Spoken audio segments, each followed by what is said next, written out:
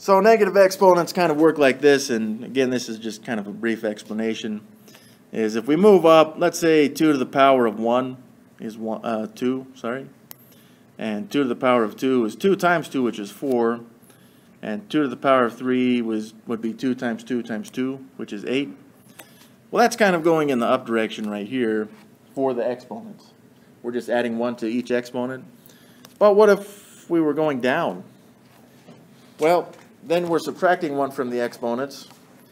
And for these numbers, we're dividing by 2 each time.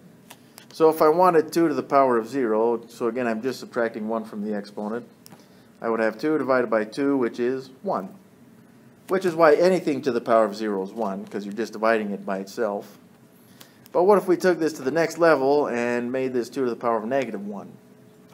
Well, then we would have 1 divided by 2, which would be 1 half.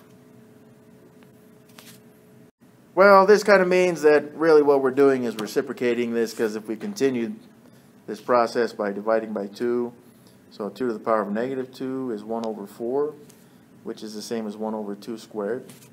Um, see how we kind of reciprocated this fraction into this one?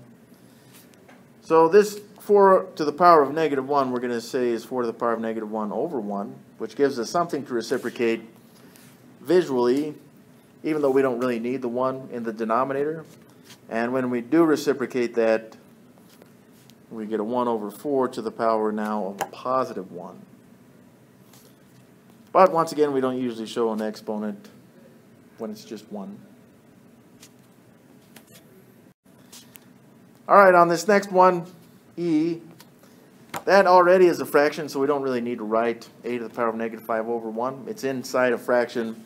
So if we reciprocate these, then we make the power of a, which was negative, into a positive. And we can write that over 1, but once again, it's just, some math people get really upset if you do that. It hurts their brain, I'm serious. That's, that's for reals.